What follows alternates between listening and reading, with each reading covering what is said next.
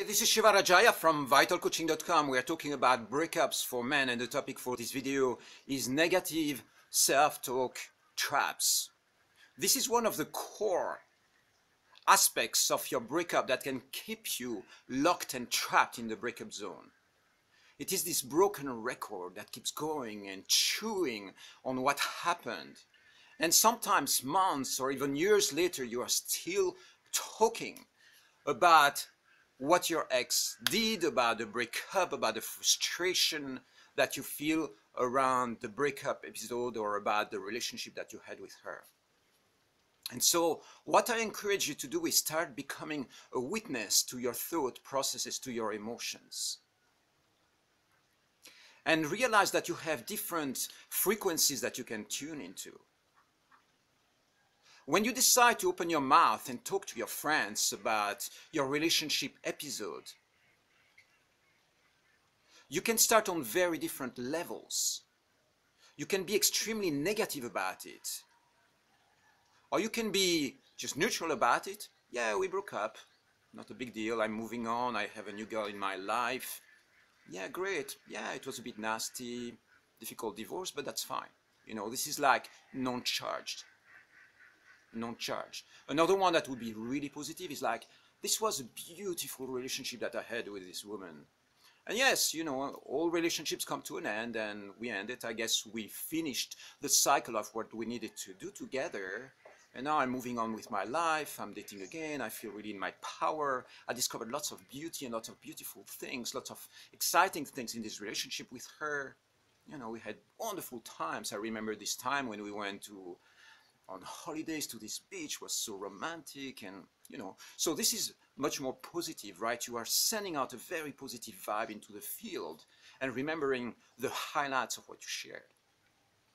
Very negative self-talk would be what the fuck is wrong with women? They always end up cheating with you.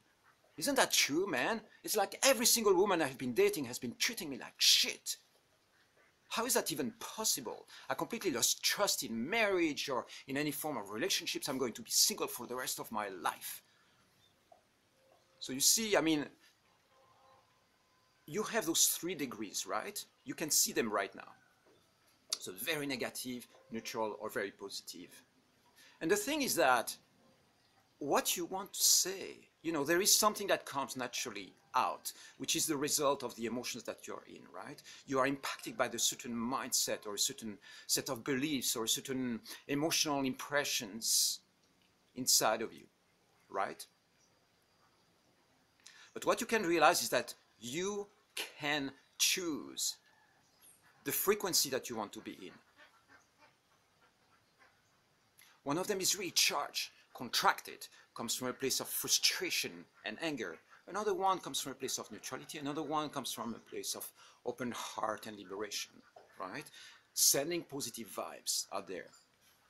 And so depending on what kind of record you play, what kind of frequency or channel you tune into, you are going to be generating and activating and reinforcing these mindsets inside of you. You get more of what you focus on. So if you focus on the negative story, if you focus on your anger and frustration, this is what you are going to strengthen inside of you. And what's going to happen naturally if you keep on repeating this story, through self-talk or through the conversation that you have with friends, or with family, or with co-workers, these are the stories that are going to stick in your mind. It means that, for instance, you might have an episode that is not really charged right? It's like, yeah, something happened, she didn't return a call. You know, something like that. Something simple that is apparently insignificant. Then you can chew on it, you can create a story around it. You can make babies with that story, and then every, every, eventually it becomes a whole story.